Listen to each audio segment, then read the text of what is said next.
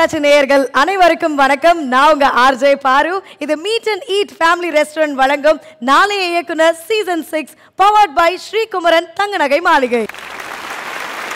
ஒவ்வொரு வாரமும் ஒவ்வொரு படத்தை பார்த்து அதுக்கு நேர்த்தியான ஒரு கமெண்ட்டை சொல்கிறது அதை விட ஜட்ஜ் பண்ணி எலிமினேஷன் எது பெஸ்ட் ஃபிலிம் எது அப்படின்னு சொல்லிட்டு ஒவ்வொரு வாரமும் நம்மளும் வந்து ஜட்ஜஸ்க்கு டாஸ்க் கொடுத்துக்கிட்டே இருக்கிறோம். அப்படிப்பட்ட மிகப்பெரிய தூண்களாக இருக்கக்கூடிய நம்ம ஜட்ஜஸை இன்வைட் பண்ணிடுவோம் லெட்ஸ் வெல்கம் வெற்றிமாறன் சார் கூடவே நம்ம கூட சேரன் சார் இருக்கிறாங்க. வி வெல்கம் யூ சார் இந்த வாரம் நம்ம கூட ஜாயின் பண்ணிருக்கிற ஸ்பெஷல் கெஸ்ட்டை பற்றி சொல்லணும்னா சமூகத்தில் ஒரு ஒரு நிறைய கிரிட்டிக்ஸும் நிறைய ரிவ்யூஸும் இவருடைய படங்களுக்கு வந்து கிடைச்சிருக்கு.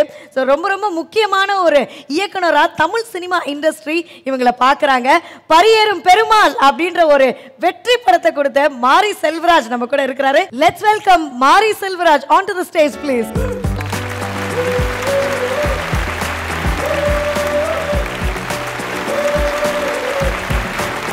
welcome sir வணக்கம். ஓகே ஸோ நீங்கள் வரும்போதே வந்து எக்கச்சக்கமான விசில்கள் ஏகப்பட்ட கைத்தட்டல்கள் அதுவும் யங்ஸ்டர்ஸ் தான் நம்ம செட்டில் நிறைய பேர் இருக்கிறாங்க. அவங்க எல்லாருமே உங்களுடைய என்ட்ரிக்காக தான் வெயிட் பண்ணிட்டு இருந்திருக்கிறாங்க. ஸோ அந்த அந்த அவங்க கைத்தட்டல்கள் கொடுக்கும்போதும் உங்களுடைய முதல் படத்துக்கு இந்த ஒரு ஆதரவு கிடைக்கும் போதும் ஹவு டஸ் இட் ஃபீல் ரொம்ப சந்தோஷமாக ஒர்க்கை நேர்மையாக பண்ணால் அது எவ்வளோ பேர் நம்மளை வந்து ஹானர் பண்ணுவாங்க அப்படிங்கிற ஃபீல் தான் அது. அதுவும் இந்த ரவுண்ட் பார்த்தீங்கன்னா வந்து ஸ்பெஷலாக ஷார்ட் ஸ்டோரிஸை படித்து அதில் இன்ஸ்பயர் ஆகி அதுக்கப்புறமேட்டு அதை ஷார்ட் ஃபிலிமாக பண்ணியிருக்கிறாங்க. ஸோ நீங்கள் வந்து பேசிக்கலி முதல்ல ஒரு எழுத்தாளர் அப்படின்னு நினைக்கும் போது இந்த ரவுண்டை நீங்கள் என்ன மாதிரியான கமெண்ட்ஸ் வந்து நம்ம கண்டஸ்டன்ஸ்க்கு கொடுக்க போகிறீங்க இல்லை அதான் இது ரொம்ப சந்தோஷமான விஷயம். ஏன்னா மெயின் வந்து கதை இல்லை எதை கதையாக பண்ணுறது ஷார்ட் ஃபிலிமா அப்படிங்கிறது ஒன்று போல ஷார்ட் ஃபிலிம் பண்ணணும் அப்படிங்கிற ஐடியாவே வந்து சிறுகதை படிக்கிறவங்களுக்கு தான் நிறைய வந்திருக்கும். ஏன்னா ஒரு சிறுகதை படிக்கும்போது இதை வந்து நம்ம இதை படமாக எடுக்கலாம் அப்படிங்கிறது ஷார்ட் ஃபிலிம் தான் அதுக்கு ஃபஸ்ட் சாய்ஸ் ஏன்னா நிறைய ஷார்ட் ஸ்டோரிஸை வந்து நீங்கள் ஷார்ட் ஃபிலிமாக மாறி இருக்கு. அதனால் நிச்சயமாக இது ஒரு பெரிய சேலஞ்சான விஷயம்தான். ஆமாம் ஸோ அதை எல்லாத்தையுமே நீங்கள் பார்த்து உங்களுடைய கமெண்ட்ஸ் வந்து எங்கள் கண்டஸ்டன்ஸ்க்கு வந்து சொல்லணும். Thank you so much for joining sir thank it is all ரவுண்டினுடைய முதல் கண்டஸ்டன்ட்டை மேடைக்கு அழைச்சிடலாம். Let's welcome Rajesh Krishna on to the stage please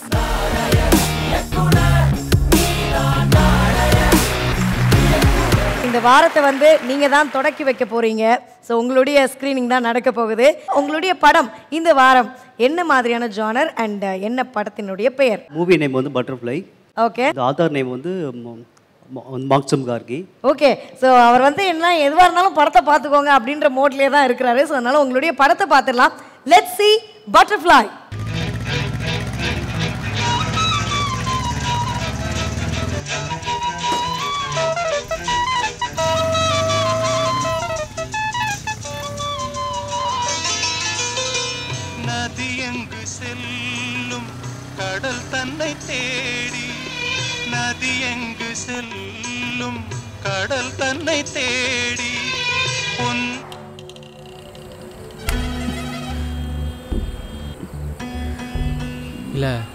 கீழே குதிக்கிற மாதிரி இருந்துச்சு.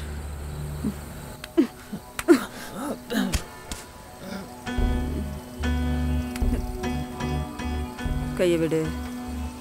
கையை விடு. கையை விடுன்னு சொல்றேன்ல. என்னங்க சண்டை? கையை விடுறா. அண்ணே குதிக்க பார்க்குறாங்கண்ணே ஏய் ஷிலா கீழே வா. அவன் இங்கே தான் இருக்கா? டெய்லியும் குடிச்சிட்டு இதே ரவுடு பண்ணுற வேலையை தான் போச்சு அவளுக்கு. கீழே விழுந்துட போகிறாங்க வானே வீட்டில் விட்டு போயிடலாம் இவளெல்லாம் சாவணுன்னு விட்டுட்டு போகாம என்ன வேற கூப்பிடியா போயா கம்னு.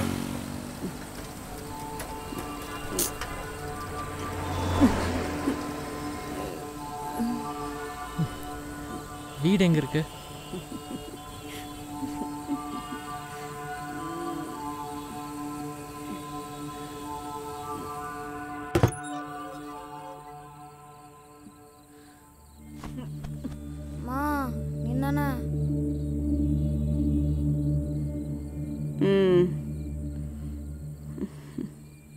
லைட் ஆஃப் பண்ணிடவா ம்.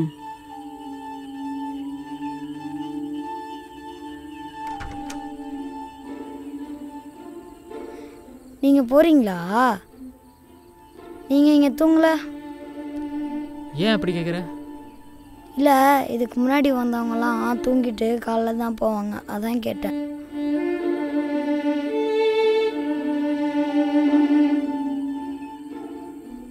பேர் என்ன? பப்பு. ஏன் பூச்செல்லாம் அடைச்சிருக்க? இதெல்லாம் அப்படி தான் அடைச்சி வைக்கணும் அங்கிள் பாவம் இல்லை. இவங்களாம் பாவமே பார்க்க மாட்டாங்க அங்கிள் ரொம்ப மோசமான ஆளுங்க. இதோ இவன் இருக்கான்ல எல்லாரையும் கடிச்சு வச்சிருவான். இவன் பெரிய திருடன். வீட்டில் இருக்க கொஞ்சம் காசையும் எடுத்துகிட்டு போயிடுவான் இவன் பார்க்க ரொம்ப பெருசாக இருப்பான். முடியெல்லாம் பிடிச்சி அடிப்பான். இவன் குடிகாரன். வெக்கமே இல்லாதவன். ஆனால் என்ன? என் அம்மாவும் கூட சேர்ந்து குடிக்கும்.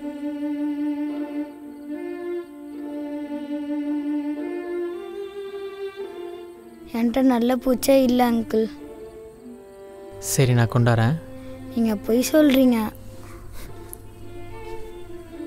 கண்டிப்பாக கொண்டு வருவேன். ஆ சரி. சரி கிளம்புறேன்.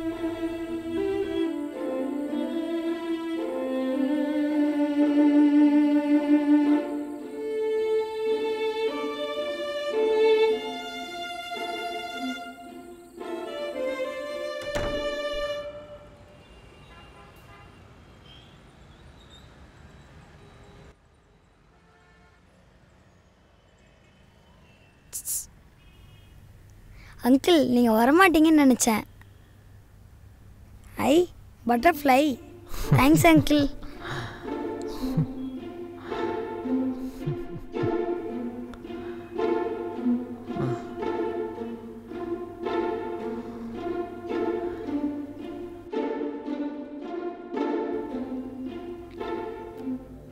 யார் இது? அப்பா. எங்க? ஒன்று கல்யாணம் பண்ணிட்டு போயிட்டாங்களாம்.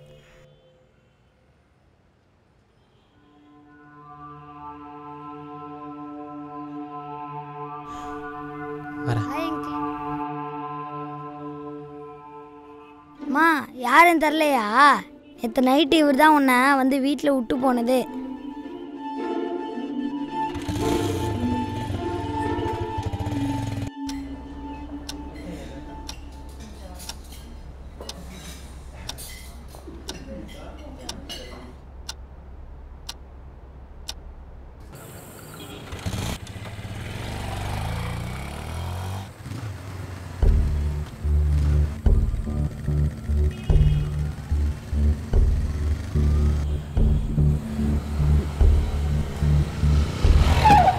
Sir sir sir sir. Sir please sir தெரிஞ்சவங்க சார் அவங்க குடிச்சிட்டா இப்படி தான் சார் பண்ணுவாங்க.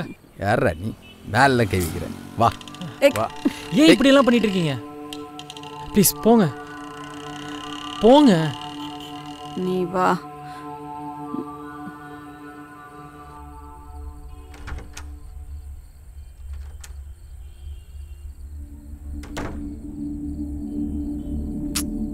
எங்க போற? வீட்டுக்கு. நீ என்ன முட்டாளா? ரோட்ல சுத்திக்கிட்டு இருந்த என்ன கொண்டு வீட்டில் படுக்க வச்சுட்டு போறேன்னு சொல்ற?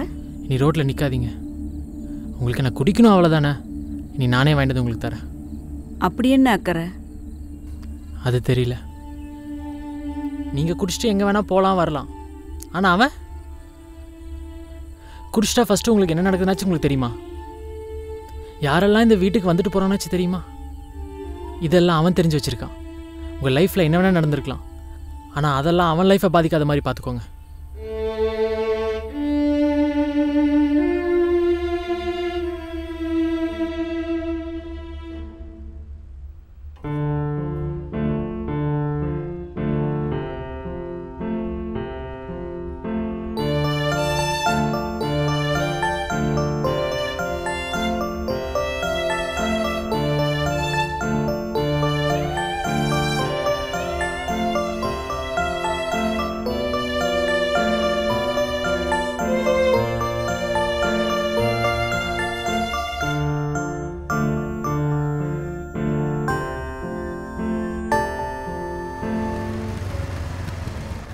Hi, uncle. Hi.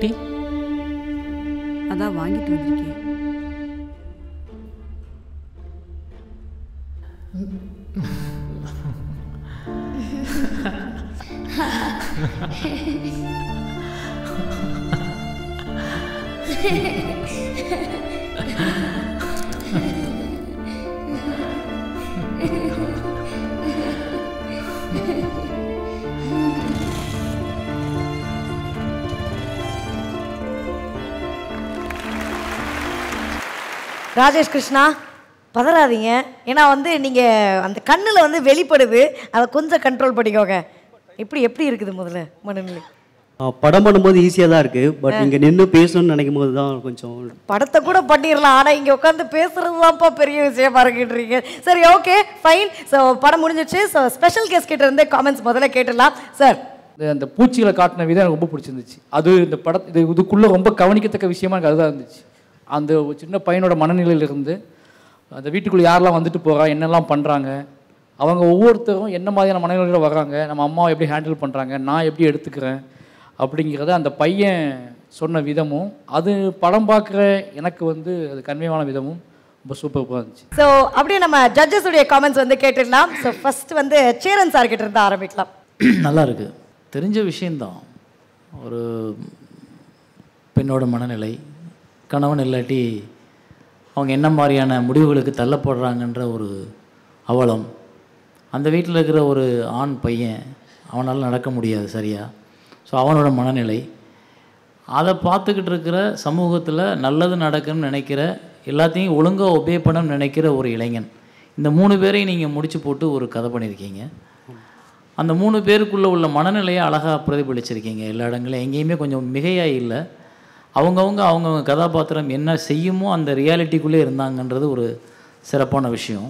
அதை தாண்டி வந்து கதாபாத்திரங்கள் சரியாக இருக்குது அந்த பெண் நல்லா பண்ணியிருக்காங்க. அவங்க லிப்ஸ்டிக்கை மட்டும் கொஞ்சம் குறைச்சிருக்கலாம். வாண்டடாக டிஏயில் ஏதோ மாறிச்சுன்னு நினைக்கிறேன். டிஏயில் மாறிடுச்சா? லிப்ஸ்டிக். லிப்ஸ்டிக்லாம் போடல அவங்க. போடவே இல்லையா? போடல சார். நான் மேக்கப் கதை கூட டிஏல மாதிரி இல்லை. யாருக்குமே மேக்கப் நான் யூஸ் பண்ணவே இல்லை. ரியலாக வேணும் தான் ஆனால் ஏன் அவ்வளவு அது நீங்கள் ஒருவேளை அந்த பொண்ணு பா வேற மாதிரியான ஒரு கேரக்டர் இருக்கிறதுனால அப்படி இருக்கணும்னு நினச்சிங்களோன்னு நாங்கள் நினச்சிக்கிட்டோம். இல்லை இல்லை சார் அது கலர் டோனில் மாறினது தான் ஷார்ட் ஃபிலிம் அப்படின்ற ஒரு இடத்துக்குள்ளே நீங்கள் இவ்வளோ அழகாக எல்லாத்தையும் வேலை நீங்கள் ஷூட் பண்ண லொக்கேஷன் ஆகட்டும் இயல்பாக தான் ஷூட் பண்ணியிருக்கீங்க. அதெல்லாமே அழகாக இருக்குது ஓகே ஸோ ஒரு பாசிட்டிவ் சொல்லணும் அப்படின்னு நினைக்கிறாங்க. ஆனால் எந்த இடத்துலையும் ஏதோ ஒரு இம்ப்ரூவைசேஷன் பண்ணணும் அப்படின்னு ஃபீல் பண்ணுறாங்க ஸோ அடுத்து வெற்றிமாறன் சார் கிட்ட வந்து பேசிடலாம். உங்களுடைய காமெண்ட்ஸ் ப்ளீஸ் ஒரு கணவன் தன் மனைவியை விட்டுட்டு போனால் அவங்க வந்து குடிகாரர்களாகவோ அல்லது செக்ஸ் ஒர்க்கர்ஸாகவோ ஆக வேண்டிய கட்டாயம் இல்லை. இது மாதிரி இடத்துல இருக்கும்போது இது ரெலவென்ஸ் இல்லாமல் போகுது. இப்போ இது அ- அந்த காலத்தில் மேபி அப்படி இருந்திருக்கலாம். அந்த கதை எழுதப்பட்ட காலத்தில் அந்த ஊரில் அந்த இடத்துல அது ஒரு இதாக இருந்திருக்கலாம். அது எல்லா எல்லா இடங்களுக்கும் பொருந்தி இருக்கலாம் ஆனால் இன்னைக்கு அது வந்து அப்படி இருக்க வேண்டிய அவசியம் இல்லை. அப்படின்னும் போது இந்த கதையை நீங்கள் செட் பண்ணுறதுல சிக்கல் வருது.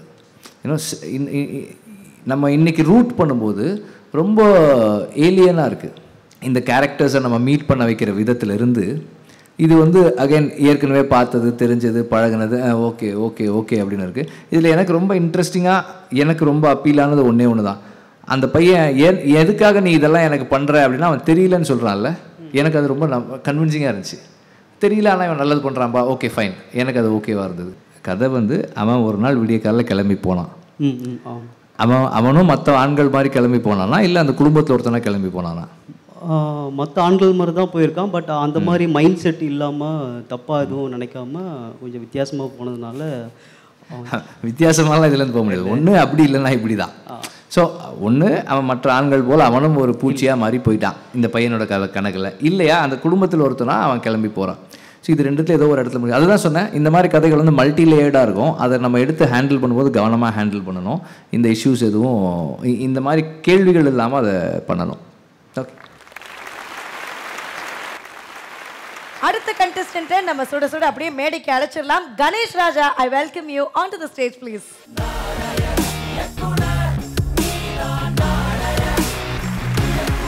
இந்த நடந்து வரும்போதே வந்து ரொம்ப ஹைட்டாக இருக்கனால அந்த அந்த வாக்கே வந்து செம்ம ஸ்டைலாக இருக்குது. இது எப்படி ரஜினி படங்கள்லாம் அதிகமாக பார்ப்பீங்களா சத்தியமா இல்லை.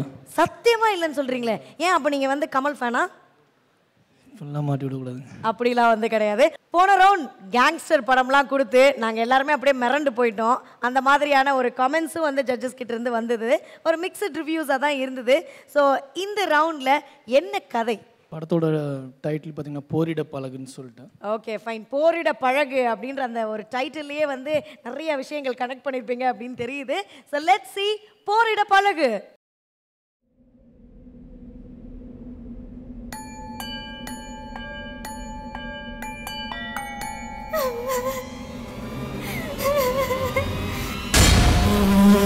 அவளே பதினஞ்சு நாள் கழிச்சு டிசார்ஜ் ஆகி இப்போ தான் வீட்டுக்கே வந்திருக்கா. அதுங்களையும் நீங்கள் போலீஸ் ஸ்டேஷன் கூப்பிட்றீங்களே சார் என்னம்மா புரியாமல் பேசிகிட்டு இருக்கீங்க? பிரச்சனை வரக்கூடாதுங்கிறதுக்காக தான் நான் பேசிட்டு இருக்கேன். அவங்கள எதிர்த்து நம்மளால வாழ முடியுமா? இதோட போச்சுன்னு சந்தோஷப்படாம மேலும் மேலும் பிரச்சனையை போட்டு வளர்த்துக்கிட்டு நான் சொல்றது கொஞ்சம் கேளுங்க. வினு செம்ம அழகா இருக்கடி. மச்சி நம்ம ரெண்டு பேரும் கல்யாணம் பண்ணிக்கலாமா? சி லூசாடி நீனு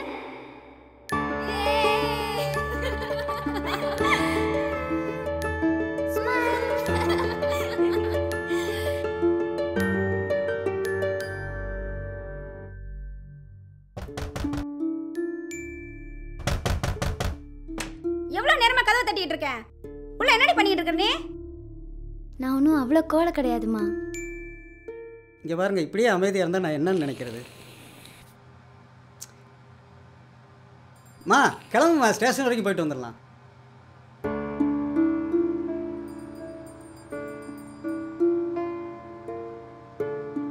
சார் இங்கே பாருங்க. அங்கே வந்து நீங்கள் எதுவுமே பேச வேணாம். எல்லா விஷயத்துக்கும் தொடக்கம் முடிவுன்னு ஒன்று இருக்குது சும்மா போட்டு வள வளன்னு இழுத்துக்கிட்டு. பாப்பா கிளம்பிடுச்சான்னு கொஞ்சம் பாருமா நேரத்தோட போனால் இருட்டுறதுக்குள்ளே வீடு திரும்பிடலாம். சார் நீங்களும் டக்குன்னு கிளம்பு என்ன நீ இன்னும் கிளம்பாம உட்காந்துட்டு இருக்க? அதான் கேஸ் கொடுத்தாச்சுல அப்புறம் எதுக்கு தேவையில்லாம ஸ்டேஷனுக்குலாம் கூப்பிடுறாங்க? அதுக்கு என்ன பண்ண முடியும்? போலீஸும் வக்கீல் வந்து கூப்பிடும்போது போக மாட்டேன்னு சொல்லுவியா? கிளம்புடி. ச்சே.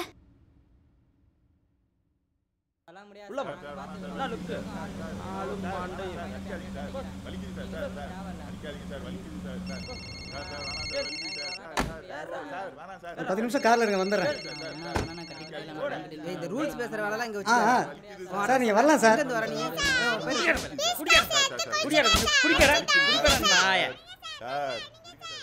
தம்பி உன் பேர் சொல்றான் பேர் சொல்லுப்பா உன் பேர் சொல்லுப்பா.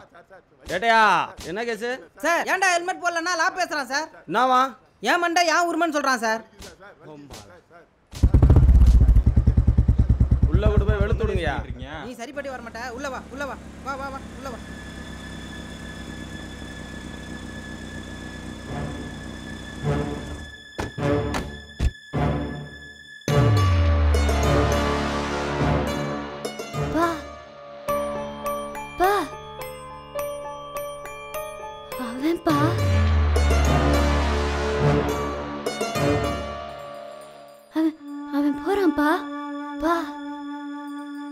சார் உங்க ரெண்டு பேரையும் ஐயா கூப்பிட்டாரு.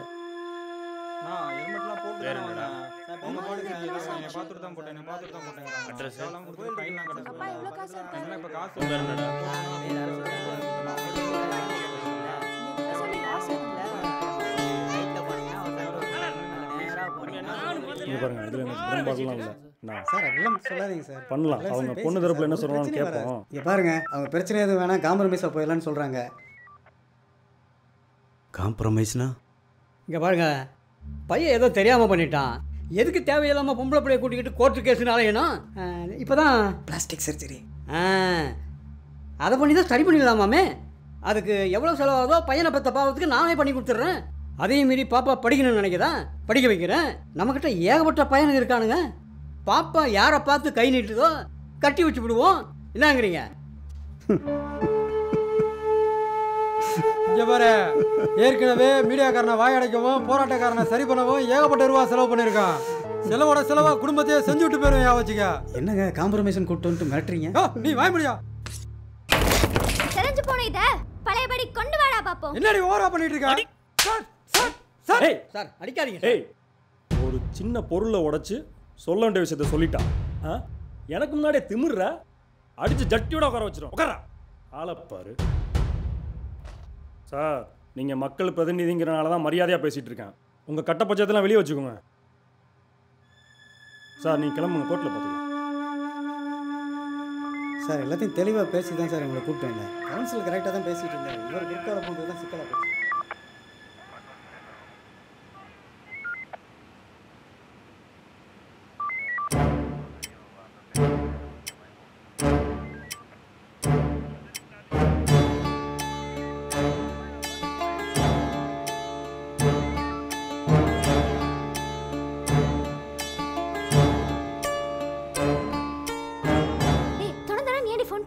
காலேஜ் பஸ் தானே? ஒரு அஞ்சு நிமிஷம் வெயிட் பண்ண சொல்லலாம் ஆ வந்துட்டேன் வந்துட்டேன் வந்துட்டேன்.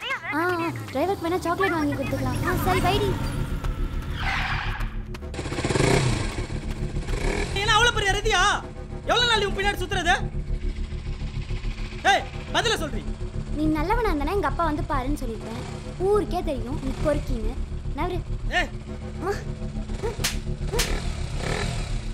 பொறுக்கி.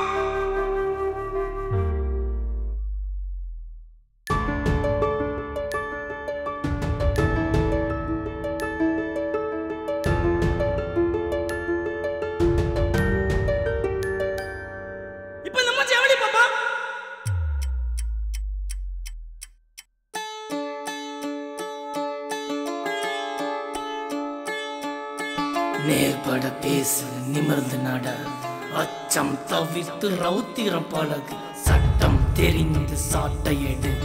எதிரியை அழித்திட போரிட பழகு. தப்பு பண்ணவன் தண்டனையிலேருந்து தப்பிக்கிறது தான் இந்த உலகத்திலே கொடூரமான விஷயம். நான் விட மாட்டேன்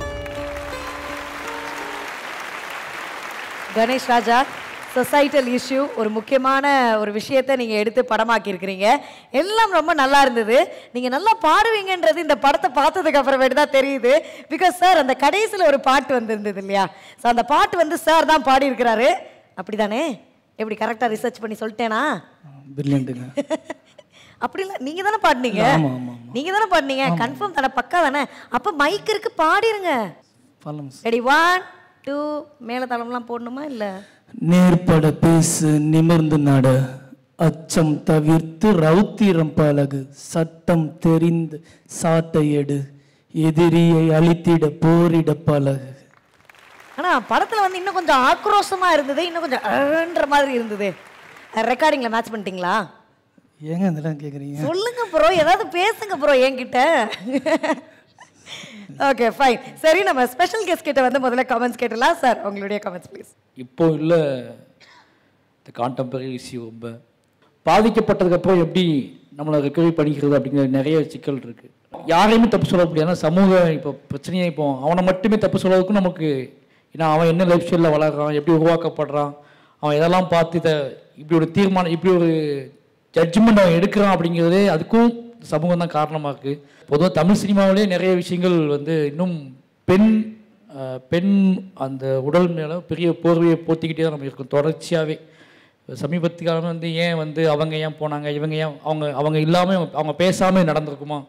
இப்போ இந்த கதைக்கு இன்னொரு கதை பண்ண முடியும் நிச்சயமா. இந்த கதைக்கு இன்னொரு கதை பண்ண முடியும். இந்த இந்த பாயிண்ட் இந்த பையனோட பாயிண்ட் ஆஃப் வியூவில் இன்னொரு கதை பண்ண முடியும். இந்த பொண்ணோட பாயிண்ட் ஆஃப் வியூ இன்னும் கதை பண்ண முடியும். அதுக்குள்ளே பேச வேண்டிய விஷயத்த ஏழு நிமிஷத்தில் பேசியிருக்கிறது ரொம்ப நல்லா இருந்துச்சு. நன்றி சார். பரவாயில்ல. நீங்க பண்ண டீடைலிங் எல்லாம் வந்து கரெக்டாக நோட் பண்ணி சொல்லிட்டு இருக்காங்க ஸோ அடுத்து வந்து நம்ம சேரன் சாருடைய கமெண்ட்ஸ் வந்து கேட்டுடலாம். போரிட பழகு போரிட பழகு. அப்படின்னு தலைப்பு வச்சுட்டு சகிப்புத்தன்மை பழகுன்ற மாதிரி இருக்கு முடிவு. அப்போ ஆரம்பத்தில் ஒரு பாதிக்கப்பட்ட ஒரு பெண் அந்த பெண்ணோட மனநிலை தெரியாமல் இந்த சமூகம் அவளை எப்படி அணுகுது? போலீஸ் கேஸை முடிக்கணும்னு நினைக்கிறான். அப்பன் பிரச்சனையை முடிக்கணும்னு நினைக்கிறான். எதிர்க்கட்சிக்காரன் இந்த பிரச்சனையை சால்வ் பண்ண வேற மாதிரி வேற நினைக்கிறான். வக்கீல் வந்து அவனுக்கான வருமானத்தை பார்க்கறதுக்காக நினைக்கிறான். சமூகம் இப்படி தான் வாழுது. ஒருத்தவங்களோட பிரச்சனை அவங்களுக்கு பொருளாதார முதலீடு ஈர்க்கிறது. சார் தப்பாக நினச்சிக்காட்டியா அந்த போலீஸ் அந்த டைலாக்லாம் அவங்க டீட்டெயில் பண்ணி எனக்கு இதில் உடன்பாடு கிடையாது. நீங்கள் அரேஞ்ச் பண்ணியிருக்கீங்கன்னா அவங்க பெண் தரப்பில் கேட்டுட்டு என்னென்னு பண்ணிக்கலாம்னு சொல்லிட்டு அந்த போலீஸோட டைலாக் வரும் சார். ஸோ அந்த இடத்துல அவர் அவர் கடமை கரெக்டாக பண்ணுறாரு ஆனால் இது மாதிரி பஞ்சாயத்துலாம் நிறைய நடக்கிறது. தப்பு சொல்லலை இப்போ. அதை நான் நல்லா இருக்குன்னு சொல்றேன். ஓகே அதை நான் தப்பு சொல்லலை. சமூகம் இப்படி தான் இயங்குது அதெல்லாம் நல்லா இருந்தது. அதெல்லாம் நல்லா இருக்கும்போது அங்கேயெல்லாம் காட்டப்படாத முகம் இல்லை. இந்த கடைசியில் காமிக்கும் போது அது எதை நோக்கி அந்த பெண் பயணிக்கிறா? எப்படி என்ன என்ன முடிவெடுக்கிறா அவ அப்படின்றது எனக்கு கன்ஃபியூஷன் ஆகுது. அந்த முடிவில் ஒரு குழப்பம் இருக்கு. இல்லை அந்த கதைக்கு இந்த மாதிரி ஒன்று தலைப்பு வைக்கும் பொழுது எல்லாமே அதில் மேட்ச் ஆகணும். நான் போரிட பழகணுன்னா சரி ஒரு எமோஷன் வரப்போகுது. ஒரு வந்து அவள் வந்து எதிர்த்து நிற்க போகிறா இந்த சமூகத்துக்கு சவுக்கடி நீங்கள் ஒரு காட்சி பண்ணீங்க. அந்த டேபிள் மேலே இருக்க பொருளை எடுத்து அடிச்சுட்டு இப்போ அதை சேர்றா பார்ப்போம் அந்த ஒரு காட்சி தான் உங்களோட திறமை. அந்த ஒரு காட்சியில் நீங்கள் அழகாக உங்களுடைய முத்திரையை பதிச்சிட்டீங்க. உங்ககிட்ட நல்லதும் இருக்குது தேவையில்லாத இருக்குது திருத்திக்கிறேன் sir? Thank you over to Vetrimaaran sir நான் இங்கே சேரன் சாரோட கொஞ்சம் டிஃபர் ஆகிறேன். எப்படின்னா ஒரு பொண்ணு வந்து இது மாதிரி பண்ணவனை பர்சனலாக ஒரு குத்துறதோ இல்லை தண்டிக்கிறதோ அதாவது ஃபிசிக்கலாக அவனை ஃபிசிக்கலாக ஹர்ட் பண்ணுறதோ வந்து அவளுடைய லைஃப்பை மாற்ற போகிறதில்ல இந்த சமூகத்தில் எந்த மாற்றத்தையும் ஏற்படுத்த போகிறதில்ல இது மாதிரி ஃபஸ்ட்டு வந்து இப்படி ஒரு எக்ஸ்பீரியன்ஸ் அது ஆணாக இருந்தாலும் பெண்ணாக இருந்தாலும் ரொம்ப ட்ரம் ட்ரொமேட்டிக்கானது இதிலிருந்து மீண்டு வர்றதே பெரிய விஷயம். அவங்க நார்மல் சீக்கு வர்றதே. அதில் முதல்ல அவங்கள அவங்க அக்செப்ட் பண்ணிக்கணும். அப்போ தான் வந்து இந்த உலகத்தை எதிர்கொள்ள முடியும். ஏன்னா அவனை தண்டிக்கிறதோட அவளோட வாழ்க்கை முடியறதில்ல. அதுக்கப்புறம் அவளுக்கு ஒரு வாழ்க்கை இருக்குது அதை தாண்டி அவள் போகணும் அவள் வாழணும். அப்போது அவள் நான் இப்படி இருக்கேன் என்னை நான் உலகத்துக்கு இப்படி காட்டிக்கிறதுக்கு தயங்க வேண்டியதில்லை. இது இந்த மீ டூ பிரச்சனை மாதிரி தான் மீ டூ என்னை ஒருத்தன் இப்படி பண்ணிட்டான்னு சொல்லும்போது யார் பண்ணாலும் அவனை போய் கேள்வி கேட்கறது இந்த பொண்ணு நீ ஏன் அப்போவே சொல்லலை? அப்படின்னு நம்ம கேட்குறது இருக்கு இல்லையா? அது மாதிரியான ஒரு இதுதான் இது. ஏன்னா அந்த அந்த பெண் அந்த லைன் எண்ட் அதான் நினைக்கிறேன் இல்லையா? தண்டனை தப்பு பண்ணுறவங்க தண்டனை தப்பு தப்பி பண்றவங்க தண்டனை தப்பிக்கிறது உலகத்தில் கொடூரமான விஷயம். சமீபம் வரைக்கும் நடந்திருக்குது அந்த விஷயம். ஸோ அப்போது எனக்கு வந்து எனக்கு நடந்த கொடுமையை தட்டி கேட்குறதுக்கு அதுக்கு லீகலாக சட்டப்படி தண்டனை வாங்கி கொடுக்கறதுக்கான முயற்சிகளில் நான் இறக்க இறங்க போகிறேன் நான் இதில் வந்து என்னை மறைச்சிக்க வேண்டிய அவசியம் இல்லை அப்படின்ற ஒரு முடிவை அந்த பொண்ணு எடுக்குது அப்படின்றது தான் நான் இதுலேருந்து புரிஞ்சுக்கிட்டேன். அப்புறம் பொலிட்டிக்கலி ஆல்சோ இது மாதிரி கதைகள் பண்ணும்போது it is very easy to go politic politically incorrect விஷயங்கள் பண்ணுறது ரொம்ப ஈஸியானது ஸோ பொலிட்டிக்கலி ஓரளவுக்கு சரியான இடத்துல தான் இருக்கீங்க நீங்கள் நீங்கள் சொல்ல வந்ததில். ஸோ அதுவே ஒரு பாராட்டுக்குரிய விஷயம். தான் அடுத்த கண்டெஸ்டன்ட் பிரவீன் பாஸ்கர். அவரை முதல்ல மேடைக்கு அழைச்சிடலாம். Please Praveen Bhaskar on to the stage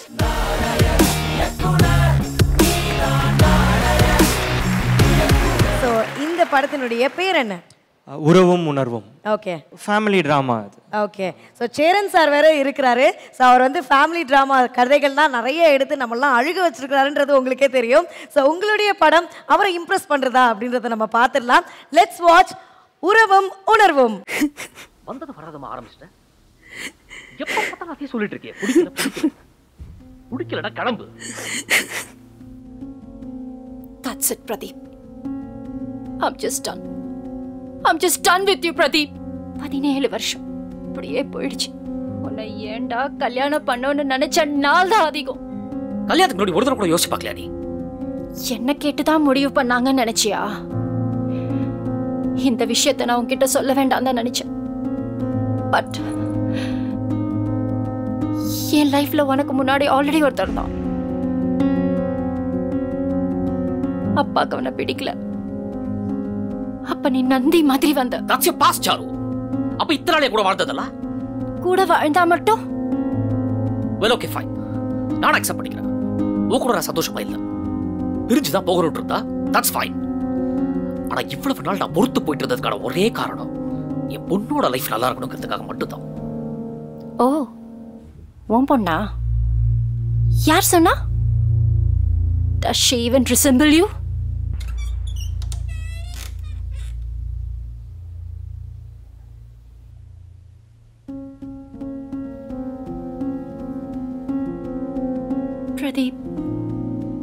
உன் பொண்ணு இல்ல என்ன கேவலப்படுத்துறத நினைச்சிட்டு நீ என் பொண்ணோட லைஃபை ஸ்பாயில் பண்ணாத. திவ்யா நீ உள்ள போமா வார்த்தைக்கு வார்த்தை ஏன் பொண்ணு ஏன் பொண்ணு சொன்னா உன் பொண்ணாயிடுவா please Charu fine DNA report பார்த்தா நீ நம்புவியா?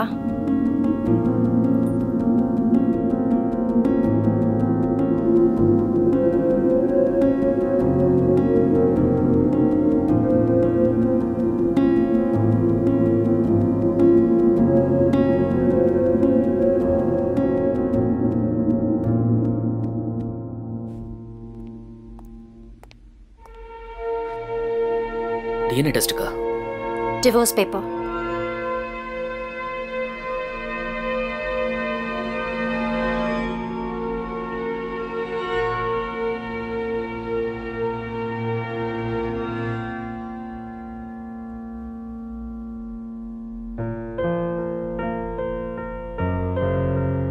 அம்மா சொன்னாங்க ரிப்போர்ட் வர ரெண்டு நாள் ஆகும்னு. நான் ஹாஸ்டல் போறேன். ட்ராப் பண்ணுறீங்களே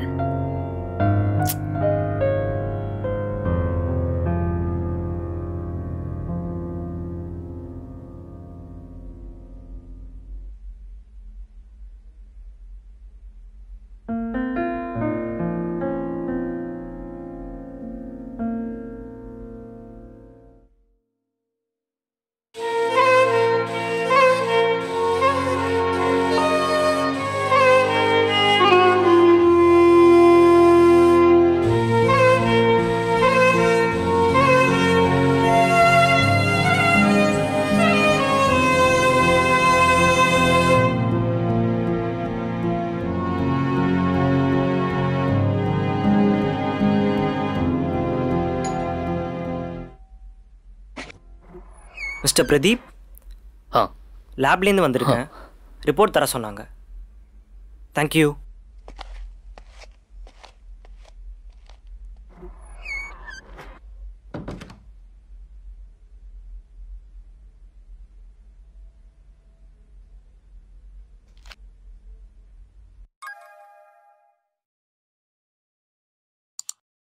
அப்பா இனிமேல் உங்களை அப்பான்னு உரிமையோட கூப்பிட முடியுமான்னு கூட தெரியல. ஆனாலும் அந்த ரிப்போர்ட் வரதுக்கு முன்னாடி உங்க கூட பேசணும்னு ஆசைப்பட்டேன். ஃபோன் பண்ணி பேசுகிற அளவுக்கு தைரியம் இல்லைப்பா. அதான் மெயில் பண்ணுறேன் ஏதோ நீங்கள் ரொம்ப தூரம் போன மாதிரி இருக்குப்பா. சின்ன வயசுலேருந்து எனக்கு அம்மாவாகவும் நீங்கள் தான் இருந்தீங்க. இப்போவும் இருக்கீங்க.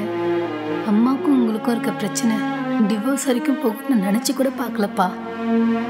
அன்னைக்கு அம்மா திவ்யா உன் பொண்ணே இல்லைன்னு சொல்லும் போது கூட எனக்கு பெருசாக படலப்பா. ஆனால் நீ என் பொண்ணான நீங்கள் பார்த்தது என்னால் தாங்கிக்கவே முடியலப்பா.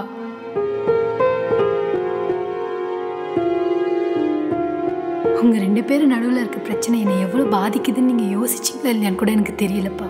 ஒரே ஊரில் இருந்துக்கிட்டு ஹாஸ்டலில் படிக்க முடியலப்பா. எனக்கு ரிப்போர்ட் பற்றிலாம் கவலையே இல்லை.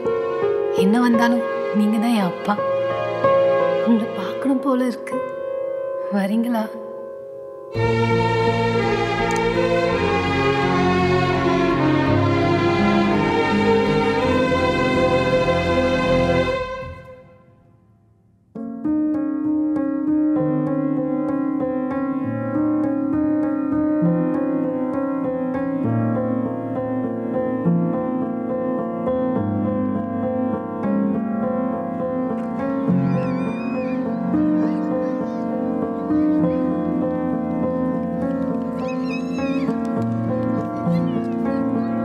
மெயில் படிச்சிங்களா?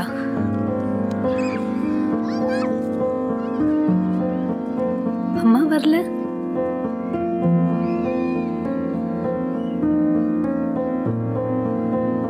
ரிப்போர்ட் வந்துருச்சா?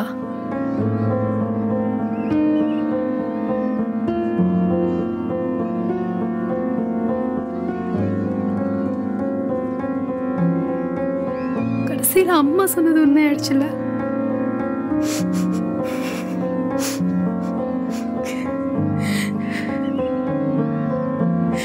அம்மா சொன்னது பொய்மா? அவ என்ன பண்ணுவா? பதினேழு வருஷம் பிடிக்காத வாழ்க்கை. அவ்வளோ பிரஷம் அவ அப்படி பேசிட்டா. ரிப்போர்ட்டை பார்த்தேன் நீ தான் என் பொண்ணு. நீ தான் என் பொண்ணு. அப்பா. சாரிம்மா சாரி.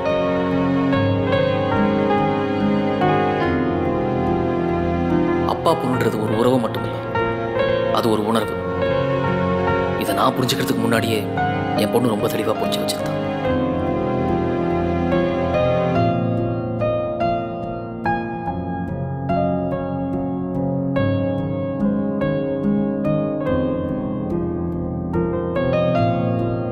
உண்மை எதுவாக இருந்தாலும் திவ்யா என் பொண்ணுதாங்கிறதுல எந்த மாற்றமும் இல்லை.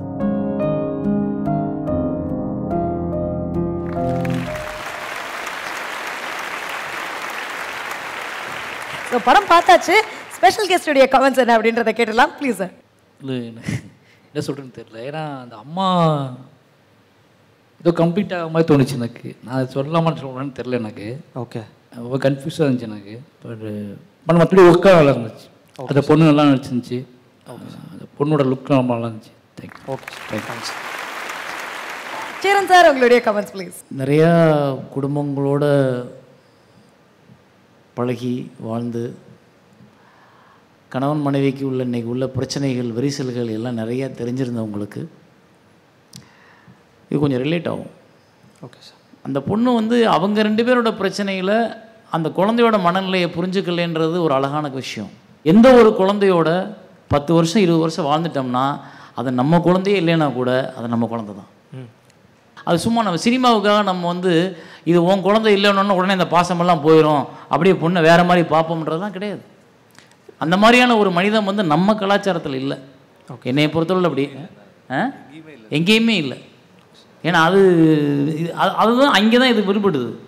அதை எடுத்துகிட்டு போயிட்டு டிஎன்ஏ ரிப்போர்ட் வந்து அது அந்த அவர் வந்து அது ஒரு ரொம்ப சினிமாத்தனமாக இருக்குது அந்த டிஎன்ஏ ரிப்போர்ட்டே தேவையில்லை அவனுக்கு. அவன் ரியலைஸ் பண்ணணும். என் பொண்ணை நான் இத்தனை வருஷம் எப்படி என் கூட என்னோட மூச்சா என் பக்கத்தில் படுத்துக்கிட்டு அவளோட ஒவ்வொரு வாசமும் எனக்கு தெரியுது. ஓகே சார் அந்த வாசம் இப்போ எனக்கு இல்லைன்றது அந்த அப்பா ஃபீல் பண்ணி அதை விடுமா டிஎன்ஏ ரிப்போர்ட்டாவது கழுத ரிப்போர்ட்டாவது நீ என் பொண்ணு நான் உன் அப்பா. லைஃப் லாங்காக அதுதான் அப்படின்னு ஒரு முடிவு எடுத்திருந்தான்னா இது சூப்பர் ஒன்றே ஒன்று தான் சார் லைக் அந்த அப்பாவுக்கு வந்து அந்த பொண்ணு மேலே ஒரு வெறுப்பு அப்படின்ற மாதிரி ஒன்றும் இல்லை. ஹீ ஒரு டிஸ்டன்ஸ் தான் மெயின்டைன் பண்ணுறாரு அது ஒரு வெறுப்பு அப்படின்ற மாதிரி லைக் நான் புரிஞ்சு என்ன தப்பு பண்ணாலும் என் பொண்ணை விட்டு நான் போக மாட்டேன். இல்லை சார் அதான். போக மாட்டேன். எந்த பக்கம் போக மாட்டாங்க. அதனால் வந்து அது சடனாக சொல்லும் பொழுது ஒய்ஃப் மேலே வேணால் கோவம் வரலாம். பொண்ணு மேலே வெறுப்பு வந்துடாது புரியுதா? ஒய்ஃபோட சூழ்நிலை அவள் தப்பு பண்ணியிருக்கா அவளுக்கு முன்னாடி அந்த அந்த மாதிரி ரிலேஷன்ஷிப் இருந்திருக்கலாம். ஏதோ ஒரு பிரிவில் அவங்க பேசலாம் கோபத்தில் ஆனால் பொண்ணு நம்ம பேசவே மாட்டோம். ஓகே சார் அதனால் என்னையை பொறுத்தவரை இது ஒரு ராங் ஃபோக்கஸாக தோணுது. ஓகே சார் ஓகே சார் பார்ப்போம் அடுத்து வெற்றிமாறன் சாருடைய கமெண்ட்ஸ் ப்ளீஸ் எனக்கு வந்து இது எமோஷ்னலாக ஒர்க் ஆகுது. It it worked for me emotionally அதே மாதிரி அந்த ஃபர்ஸ்ட் சீன் நல்லா பெர்ஃபார்ம் பண்ணியிருந்தாங்க எல்லாருமே. பர்ஃபார்மன்ஸ் சைடில் எஸ்பெஷலி அந்த ஃபர்ஸ்ட் சீன் ரெண்டு பேருமே நல்லா பெர்ஃபார்ம் பண்ணியிருந்தாங்க. ஒன்றும் பெரிய இது இல்லை. இப்போ ரெண்டு பேருமே மென்ஷன் பண்ண மாதிரி அந்த அம்மாவுடைய ஃப்ரஸ்ட்ரேஷனுக்கும் அவங்க அப்படியே டிஸப்பியர் ஆகிறதுக்குமான இது என்னன்னு தெரியல.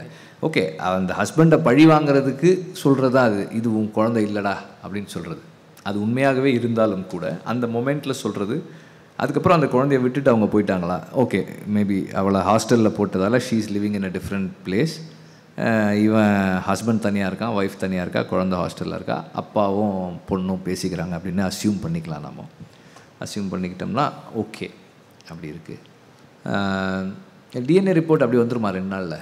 சார் நல்ல லேப்லனா வந்து பார்த்தீங்கன்னா த்ரீ டேஸில் வந்துடும் சார். அப்படி இல்லை. daysல வந்துருமா? ஆமாம் சார் இல்லை அது வெரிஃபை பண்ணேன் சார் அப்படியா? ஆமாம் சார். எனக்கு டவுட்டாக இருக்குது இல்லை சார். ஏன்னா புறாக்கு கிளிக்கெல்லாம் டிஎன்ஏ டெஸ்ட் பண்ணனாலே ஒரு வாரம் ஆக்குறாங்க இல்லை சார் அது கேட்டு தான் சார் பண்ணது டாக்டர்? ஃப்ரெண்ட்ஸ்கிட்ட நான் ஓகே நான் நெக் நெக்ஸ்ட் டைம் வந்து செக் பண்ணிட்டு வந்து நான் சொல்லுவேன் உனக்கு ஷூர் சார் ஷூர் சார்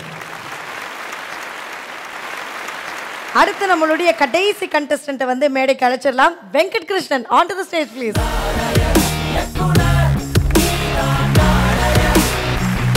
உங்களுடைய படைப்பு பெயர் என்ன? கருணை நாள் தான் ஓகே கருணையில் நான் தான் இந்த படத்தை பார்த்துடலாம்.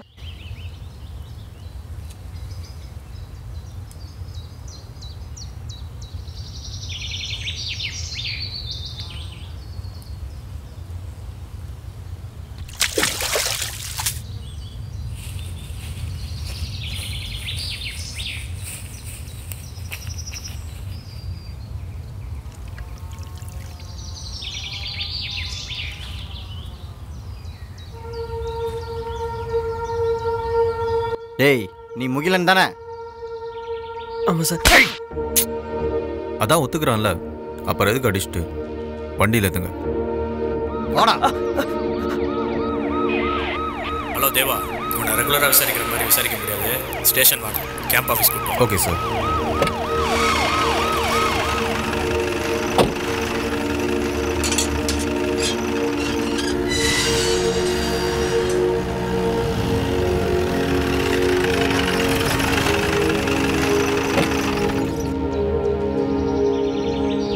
Shanmugam கேட்டு ஒழுங்க முடியா? சார் வழங்க மாட்டோம் சார். தப்பிச்சு பிச்சு போயிட போகிறான் ஆளை பார்த்தா அப்படி தெரியலையா. தப்பிச்சு ஓட கூட இல்லை. நேராக வந்து தான் யாருன்னு ஒத்துக்கிட்டான். பொடி பையன் நம்பிடாதீங்க சார். அந்த அமைப்பை சொந்தனுங்க ரொம்ப மோசமானவனுங்க.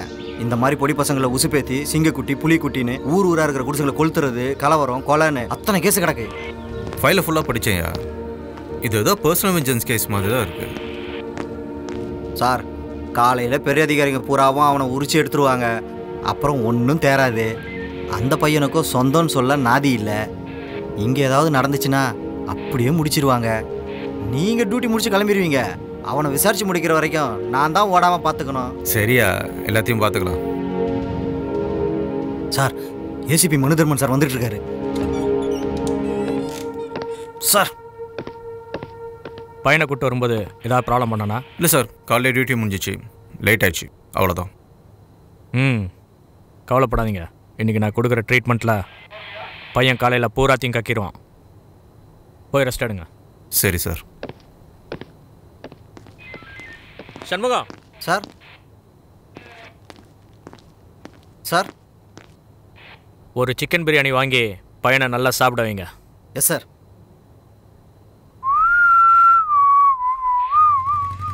இவனை ரெகுலராக விசாரிக்கிற மாதிரி விசாரிக்க முடியாது. காலையில் பெரிய அதிகாரிங்க பூராவும் அவனை உரிச்சு எடுத்துருவாங்க. அப்புறம் ஒன்றும் தேராது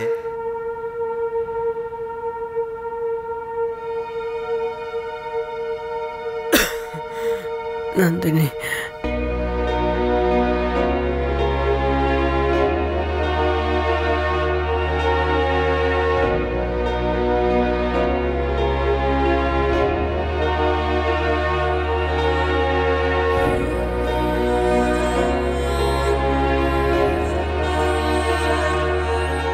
நந்தினியா? யாரு? ஃப்ரெண்டு சார் மாணிக்கம் வெளில கூட்டு போகிறேன்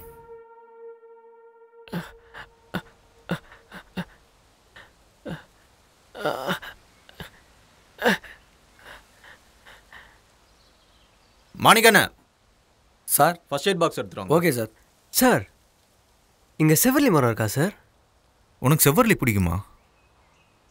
அது என்னமோ சார். அந்த புள்ள ஞாபகம் வரும். நாளைக்கு என்ன என்ன சார் பண்ண போகிறீங்க ம் இதே தான் விசாரணை. என்ன விசாரணை? நித்யானந்தத்தை கொன்னது நீதான். ஆமாம் ஒத்துக்குவேன். நான் தான் முதல்ல பயந்தேன். ஓடி ஒளிஞ்சேன். அப்புறம் சரணடையலாம் தான் நினச்சேன். அமைப்பில் இருக்கிறவங்க வேணான்னு சொல்லிட்டாங்க. என்னை எப்படியோ தேடி வந்து கண்டுபிடிச்சி அறிமுகப்படுத்திக்கிட்டாங்க. என்னென்னமோ சொன்னாங்க. நான் செஞ்சது சமூக பணியா? அப்போது உன்னை சம்மதப்படுத்தி ஃபைல் பண்ணியிருக்க மற்ற கேஸ் எல்லாம்? சத்தியமாக சொல்கிறேன் சார் எனக்கு தெரியாது. சொல்ல மாட்டானுங்க சார் பொய் சொன்னா கண்டுபிடிச்சிரும் முகிலா. சாமி சத்தியமாக சொல்கிறேன் சார் நான் பண்ண தப்பு கோவத்தில் தான். மற்றபடி இந்த போலீஸ்காரங்க அமைப்போட சேர்த்து என்னை ஜோடிச்சது தான் சார். சார்?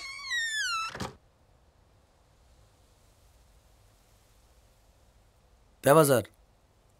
இன்னும் எப்படியும் ஒரு வாரத்துக்கு அடிச்சு தொங்க விட்டுருவாங்க சார். கண்டிப்பாக தேர மாட்டான் சார். தேவையில்லாமல் ஏதோ பேசி நம்பிக்கை ஏற்றிடாதீங்க சார். Sorry sir.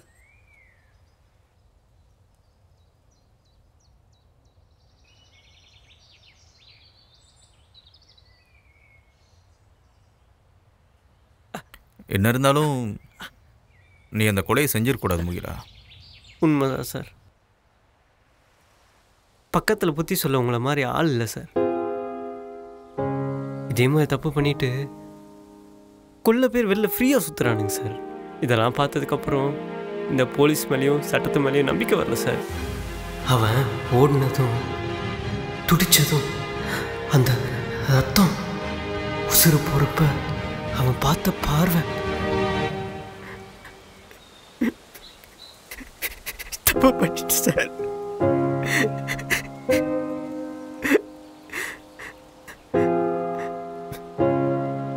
சார் அல்லிப்பூ போய் எடுத்துட்டு வரேன் சார்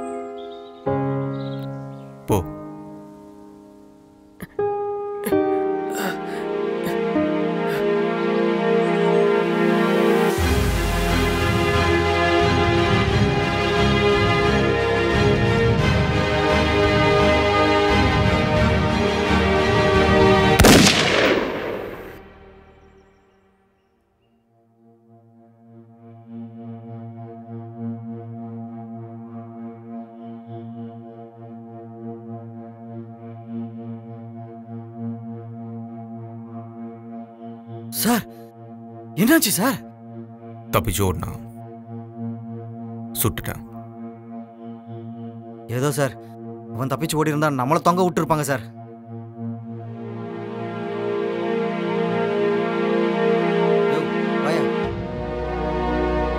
ஒரு உயிரை பறிக்கிறது எவ்வளோ கொடூரமான செயலாக இருந்தாலும் அது துடி துடிச்சு அர்த்தம் இல்லாமல் சாகிறத விட அந்த உயிரை பறிச்சாலும் பரவாயில்லன்னு நான் எடுத்த முடிவு. கருணையினால் தான் நம்மளுடைய ஸ்பெஷல் கெஸ்டுடைய கமெண்ட்ஸ் வந்து கேட்டுடலாம். ப்ளீஸ் ரொம்ப நல்லா இருந்துச்சு. எனக்கு பிடிச்சிருந்துச்சு. பட் ஆனால் எனக்கு கிளைமேக்ஸ் வரைக்கும் எனக்கு என்ன தோணுச்சு அப்படின்னா அவன் ஷூட் பண்ணும்போது எனக்கு அவரே வில்லமாக தான் தெரிஞ்சாப்புல. படம் அந்த வாய்ஸ் ஓலா பிறந்ததுக்கப்புறம் தான் அந்த டைட்டில் வந்ததுக்கப்புறம் தான் ஓ இவர் கருணை கொலை பண்ணியிருக்காரு அப்படிங்கிறது எனக்கு கன்வே ஆச்சு. அது ஏன்னு தெரியல. ஒரு அதோட தோற்றமா இல்லை அவரோட பாடி லாங்குவேஜா இல்லை அவரோட ரியாக்ஷனா அந்த போலீஸ்காரோட ரியாக்ஷனா எதுன்னு தெரியல. ஆனால் அவரை வந்து ரொம்ப நெகட்டிவாக தான் பார்த்துட்டு இருந்தேன். பட் ஆனால் நல்ல நல்லா இருந்துச்சு, ரொம்ப நல்லா இருந்துச்சு. தேங்க்யூ ஓகே ஜட்ஜஸுடைய கமெண்ட்ஸ் கேட்டுடலாம். வெற்றிமாறன் சார் உங்களுடைய கமெண்ட்ஸ் ப்ளீஸ் இது மறுபடியும் வந்து என்னென்னா இது கருணை நாள் தான் வந்து ரொம்ப பாப்புலரான குறுநாவல் அது சிறுகதை இல்லை குறுநாவல் ஒரு அறுபது அறுபத்தஞ்சு பக்கம் நாற்பத்தஞ்சு பக்கம் இருக்குன்னு நினைக்கிறேன் அது. பதினஞ்சு பக்கம். பதினஞ்சு பக்கம் தான் இருக்கா? அது ஒரு அந்த குறுநாவல் ஸ்பேஸ்க்குள்ளே இருக்கிறது. பாலமேந்திர சார் அது ஒரு ஃபீச்சர் பண்ணணும்னு நினச்சி ஸ்கிரிப்ட் எல்லாம் பண்ணி வச்சுருந்தாங்க.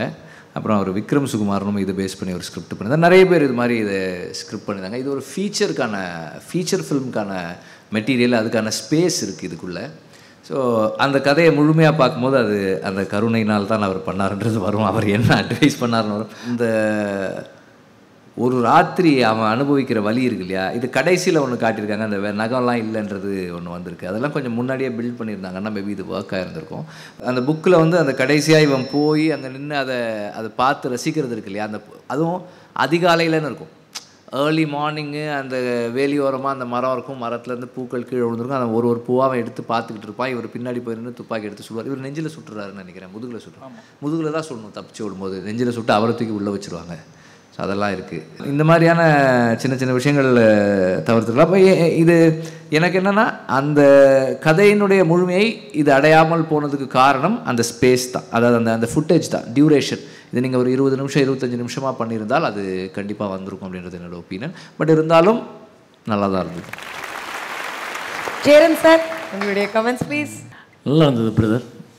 நீங்கள் ஏற்கனவே ரெண்டு மூணு பேர் இந்த கதையை வந்து சிறுகதையை எடுத்திருக்காங்க அப்படியே. அந்த கேரக்டர் மேலே இவர் காட்டுற பரிதாபம் அந்த பையன் வந்து அவனுக்கான பேக் ஸ்டோரி அந்த காதலுக்கும் அவனுக்குமான ஒரு தொடர்பு அந்த பூவுக்கும் அவளுக்குமான ஒரு தொடர்பு இதை பயன்படுத்திக்கிற அந்த டிபார்ட்மெண்ட் ரைட் அப்புறம் அதில் வந்து இன்னொன்று இங்கே முக்கியமானது பார்க்கணும். போலீஸ்காரங்கெல்லாம் ஒரே மாதிரி இல்லைன்னு இந்த கதை சொல்லுது.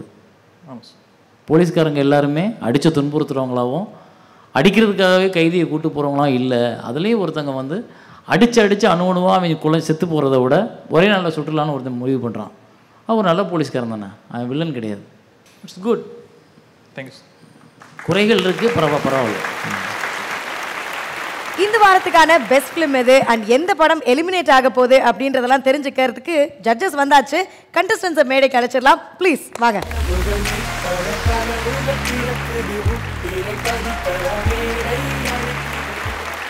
ஸோ இந்த வாரம் ஒரு படம் பெஸ்ட் ஃபிலிம் அப்படின்னு சொல்லிட்டு நம்ம தேர்ந்தெடுக்க போகிறோம் ஸோ அதற்காகவே நம்ம மீட் அண்ட் ஈட் வழங்கக்கூடிய இரண்டாயிரம் மதிப்பிலான ஒரு கிஃப்ட் வவுச்சர் இருக்கு. ஸோ இது யாருக்கு போக போகுது சார் இந்த வாரம் கொஞ்சம் கொஞ்சம் டிஃபிகல்ட்டான வாரம் தான் அது. பல சூழ்நிலைகளில் வந்துட்டோம் ஏன்னா பசங்க வந்து நாலு பேருமே கொஞ்சம் நல்லா ஒர்க் பண்ணியிருக்காங்க. கொஞ்சம் சுமாராக ஒர்க் பண்ணியிருக்காங்க. இப்போ இதில் வந்து எனக்கு பெஸ்ட் ஃபிலிம் அப்படின்றப்போ பட்டர்ஃப்ளை அந்த உறவும் உணர்வும் ரெண்டு படம் வந்தது பேலன்ஸ் உறவும் உணர்வும் பார்த்தீங்கன்னா அது ஒரு டிஃப்ரெண்ட் ஜானர் அது வந்து ஒரு அப்பா பொண்ணுக்கான ஒரு விஷயம்.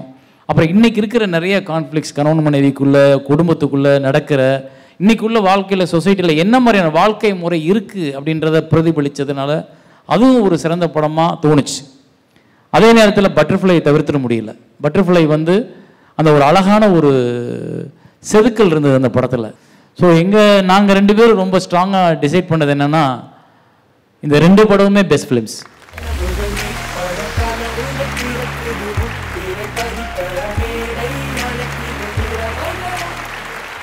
இந்த வீக் வந்து we will go with butterfly and உறவும் உணர்வும். ஸோ இது ரெண்டும் நெக்ஸ்ட் ரவுண்டுக்கு மூவ் பண்ணுறோம் இந்த ரெண்டு ஃபில்ம் மேக்கர்ஸை நெக்ஸ்ட் ரவுண்டுக்கு மூவ் பண்ணுறோம் நம்ம டெஃபினட்டாக வந்து வி வில் கோ த்ரூ இன்னும் அந்த ஹாரர் ரவுண்டு இருக்குது அதுவும் பார்த்து தான் நம்ம முடிவு பண்ணுவோம். ஸோ வெயிட் uh, பண்ணுங்கள் we will get to know okay thank you thank you இந்த எபிசோட்ல இவங்க இரண்டு பேருடைய படங்கள் வந்து எலிமினேட் ஆயிருக்கு. ஆனா ஜட்ஜஸ் சொல்லியிருக்கிறாங்க அடுத்த வாரங்கள்ல இவங்க வரவும் செய்யலாம் அப்படின்னு சொல்லிட்டு. ஸோ இதை பத்திலாம் தெரிஞ்சுக்கணும்னா நம்ம அடுத்த வாரம் வரைக்கும் வெயிட் பண்ணோம். Until then this is Paaru signing off from meet and eat வழங்கும் நாளை இயக்குனர் season six powered by Srikumaran Thanga Nagai Maligai.